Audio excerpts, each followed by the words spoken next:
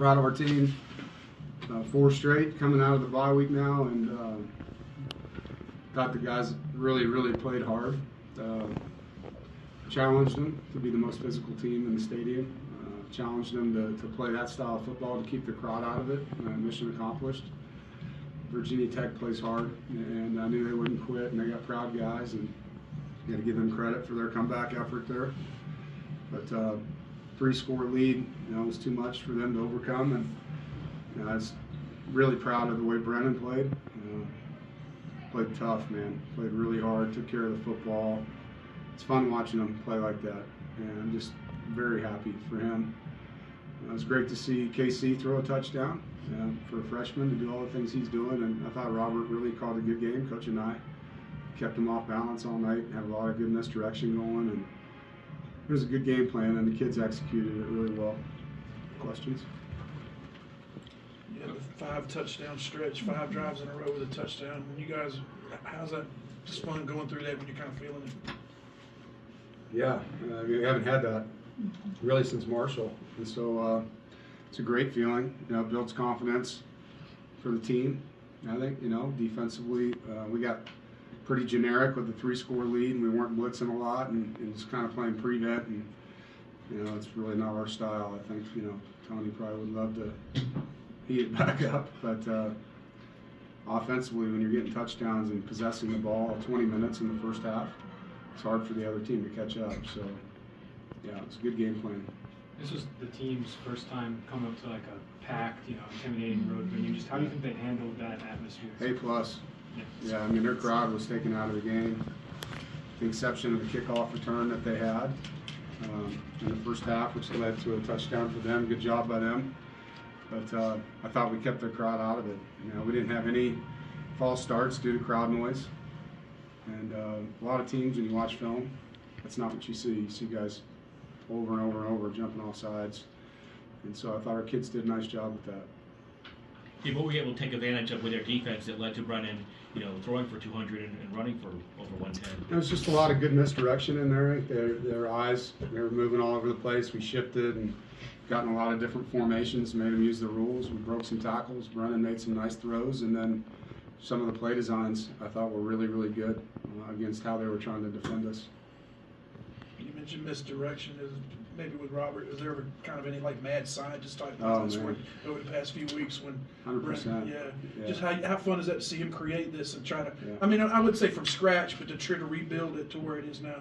He's spinning the dial, as he calls it, you know. And uh, there's, you know, 25 years of calling offense in that man's head, and he goes back to things he did back in the day, things he did at Virginia, things he did at Syracuse, things that you know we're watching on film, and then plays off of plays. Man, does he do a good job of that? And uh, I thought Robert called a really good game tonight. On a personal level, I imagine you're really happy for him to Yeah. af- after what's been going on. Yeah, I mean, I, I knew it would take time, um, and the players have to play well for the coach as well. And when you're dropping passes and false starting all the time, like we were in the Duke game, I don't care who's calling plays; they're not going to be very good. And uh, the guys have taken it on their shoulders to play cleaner and play harder and execute, and that helps Robert as a play caller. If we're efficient, man, he can do a lot of good things. The last time this program won here was back in 04. I mean, some of your players weren't even alive at that point, which Wow. is crazy to think about. Were you? I was. I was actually. Um, I don't know how old, but I was. Um, and you know, it just feels like the last several weeks they, they've, you know, they they've really broken history in some aspects. Yeah. Um, did you expect this coming into the season?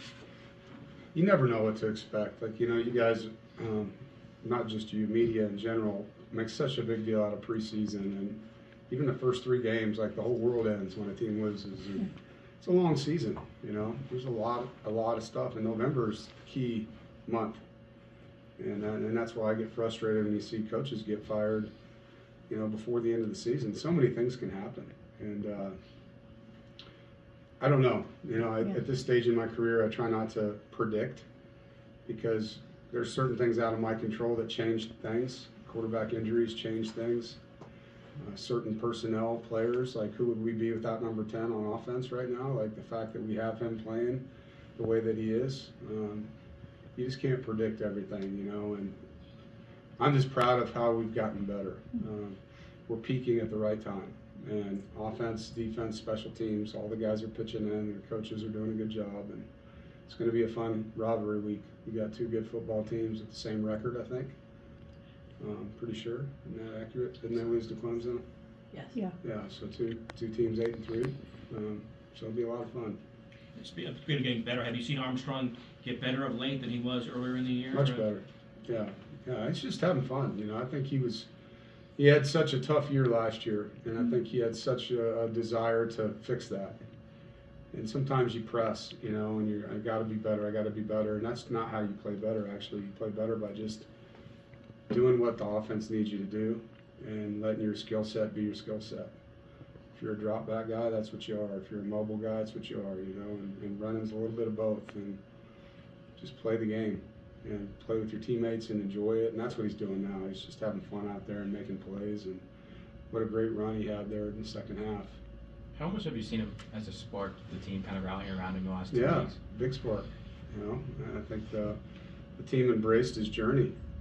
You know, his suffering, uh, his pain, and saw just a good teammate. And really, man, did he gain respect in those four weeks just being a good teammate.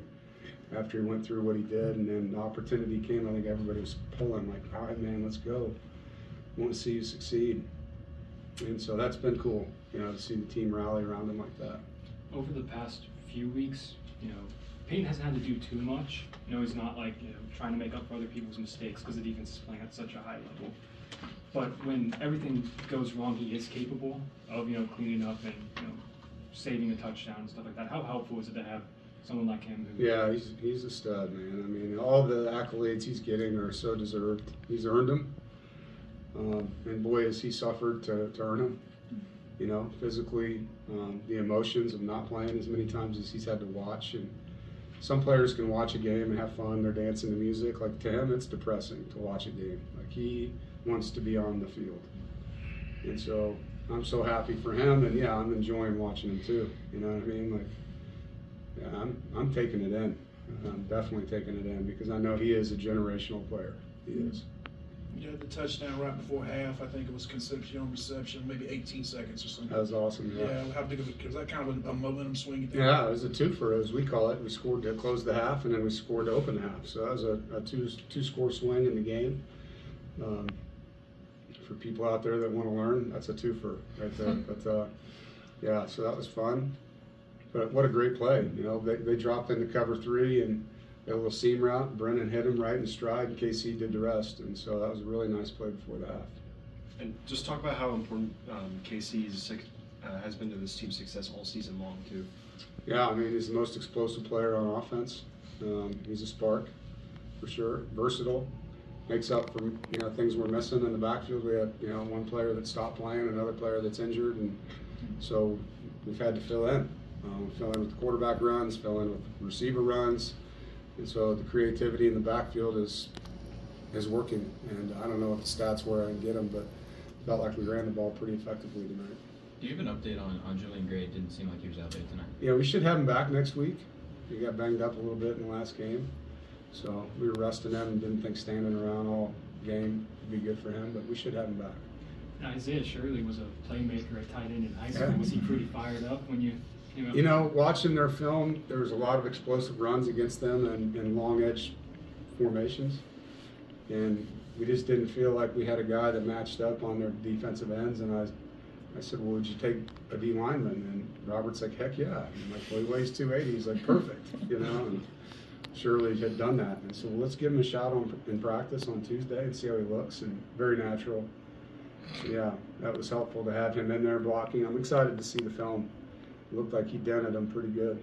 What does it say about this team that you can take a guy like that or, you know, a guy like Jordan Poole and put him on the offense and, and let them, you know, just Yeah, have fun man. and do their thing? Players making plays, having fun, want to be on the field, helping their brothers win. Coaches finding a way to get the best players out there to make things happen, and you know, I'm very proud of those guys, and it's fun to see it. You know, I mean, uh, Isaiah Shirley's been on the scout team for most of the year, but he's been making life hell on our offense. So I was like, you know what? Why don't you go make someone else's life hell for a day? And uh, so proud of him and happy for him. Do you think that risk taking has led to a lot of the success in the last four weeks? What risk taking? Just in, uh, just in terms of like moving guys around, Yeah. or do you view it as a risk? I look at it as putting the pieces in the right place, you know, and scared money doesn't make money. And so, to me, it's some of these other guys are on film not getting it done, and like we can keep doing that, and that's the definition of insanity: repeating something, hoping it gets better, right? And or we can put someone else in there and see if they can do it. And so that's what we've done. And to our players' credit, you know, they want to just play. They don't care what position they play. They just want to get out there and play, and I love that about them. Mm-hmm. All right, we got a bus ride here. I need to get back. Thank you. First time